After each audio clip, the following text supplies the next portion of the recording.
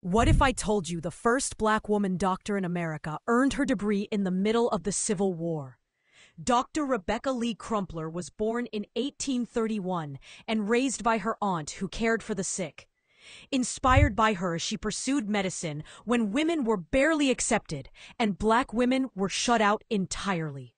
In 1864, she graduated from the New England Female Medical College, becoming the first black woman in the United States with an MD.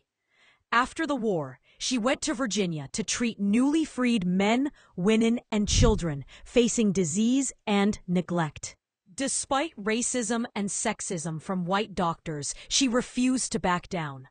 In 1883, she wrote the Book of Medical Discourses, one of the first medical texts by a black American, focusing on women and children's health. Dr. Rebecca Lee Crumpler broke barriers, healed the forgotten, and proved medicine belongs to everyone.